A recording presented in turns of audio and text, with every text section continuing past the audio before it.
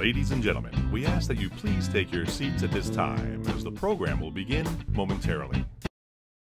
Validation and verification are important steps in the quality assurance and quality control process of your research. They add to the credibility and transparency of your results, and when done properly, will make publishing your work much easier. In this video, I will discuss some of the checks you can do and steps you can take to increase the validity and verification of your data and analysis. These will differ depending on the type of method you've used. Let's start with validity. This is about whether your outcomes are true and based on strong evidence. For quantitative research, we revisit the validity staircase. At each of the steps of the validity staircase, there are associated threats to validity we must be mindful of when doing research. For conclusion validity, you have to be mindful that your outcomes of your statistical calculations can be wrong because there isn't enough statistical power due to the sample size or an unreliable measure that was used. For internal validity, you must ensure you use the correct methods to determine if there's a causal relationship. Ensure you do not violate any underlying assumptions your data must meet before you draw conclusions from your statistical calculations. The adagios don't confuse causation with correlation and garbage in is garbage out still apply. For construct validity, validity issues can occur if your construct itself was not thought through properly, if you missed possible interactions between other variables, the methods of testing, etc. Social threat is also an issue you must take into account when your population, or you the experimenter, unwittingly influence the measurement, such as people trying to show desired behavior as opposed to being their normal selves. For external validity, make sure you can actually generalize. Is your sample representative enough to generalize? For instance, can you say that a sample of engineering students is representative for all university students? For qualitative research, validity is less easily defined than in quantitative research, but that does not mean you cannot take steps to ensure it. Although results in qualitative research cannot be generalized, this does not mean there are no threats to conclusion validity. Measures you can take to mitigate these threats and increase validity are ensuring that you have a well-trained moderator or an interview to reduce bias. And another way to avoid bias in your results is ensure your sample is ethically recruited and truly representative of the population you are examining, else your result will not be valid.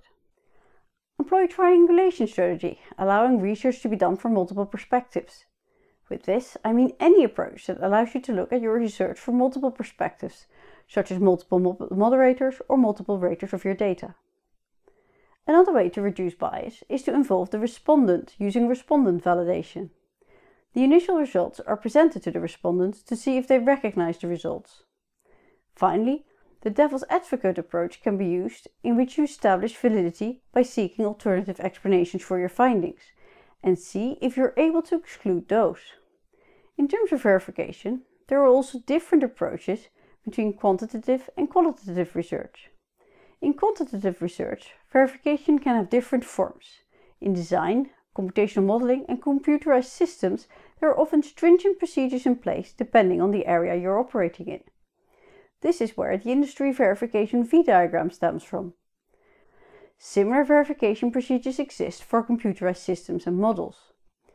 When verifying outcomes of statistical analysis, it is important to verify the data, such as checking for outliers, verifying that you've used the methods correctly in measurement and analysis, and that you've carried them out properly. Also verify that you follow procedure in your data analysis and data interpretation, and compare your outcomes to other research as well as your own expectations and see if there are no inconsistencies in the outcomes. In qualitative research, the process of how you carried out the research and whether you followed the principles of each method correctly forms a large part of the verification process. It requires constant monitoring during the process and not afterwards. Using the inbuilt mechanism of your methods, monitor for and identifying correct errors as you go.